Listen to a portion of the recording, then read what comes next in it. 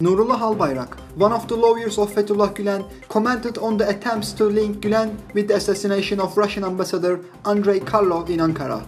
Albayrak said the news, which doesn't provide any evidence, written by just using their imagination, claims that it is impossible for the assassin to not know Gülen.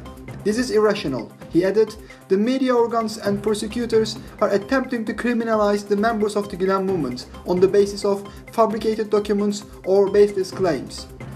Neither Mr. Gülen nor the Gülen movement can be involved in or associated with assassination, murder, or acts of violence. Albayrak invited the members of the Turkish judiciary to find real culprits instead of fabricating fake evidence and producing baseless claims.